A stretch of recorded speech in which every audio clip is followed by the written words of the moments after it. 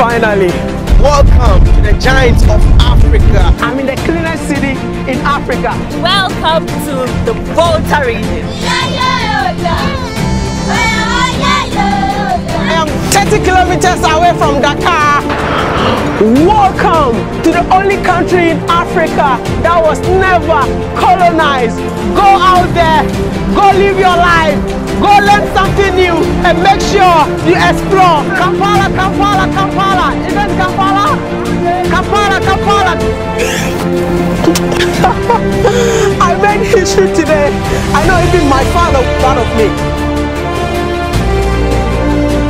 I just met Drew Binsky in Kigali. I met him in my favorite country in Africa. Drew Binsky, there are so many things I want to ask you. What do you want to ask, man? Drew Binsky, why do you get negative when you're in Africa? Why do I get negative? Yeah, I just want to know. The truth is, Africa is my favorite continent. I love it. There's so Uh-huh. many. It's the most diverse continent. The nicest people. So many stories to tell. But there's corruption here. There's some bribery, and some shit happens. And when it happens, I like to tell the world what happens. You, you like to tell the world what happens, but don't you think that you have to balance the. Dude, 95% of my stories are positive. Have you not I, I know, but let, let me tell you something. When you yeah. went to, um, what do you call it? When you went to Gambia, Yeah. did a video about. Yeah, sex um, tourism. Is that there's a huge sex tourism industry here. I've seen a lot of older white European women over 65 years old, as well as men coming here for very young locals. You know, I see it in other parts of the world, in Thailand and etc. But here, it's like the whole economy is pretty much built on this uh, sex tourism. So yeah, so that that was a the wrong message that I spread there. That is one video that it, maybe in Chad I did something else that wasn't the best, but I've made like 120 videos in Africa, and I think 95% of them are positive.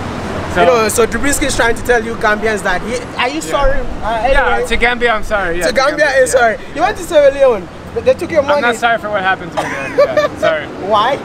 Because it, it was so messed up what they did to me at the border. Yeah. It was actually worse in real life than how I explained it on the video. But Okay. I tried to be a little bit sheltered. I don't want to be too too negative. You know? Yeah, all right. So, is there anything you want to tell your Afri- African, uh, what do you call it, your African subscribers? Yeah. Because some of them were really Yeah. angry. They were sending me your Yes. videos. I was like, no way. Yeah, yeah. I, I watched Drew Binsky too. So, yeah, so I apologize if I offended you guys. Um, I'm really sorry. And I, truth is, as I told you, I love Africa. It's an incredible place, continent, and I will be back here many, many times in the future. I'm heading out now to Burundi, then Central African Republic.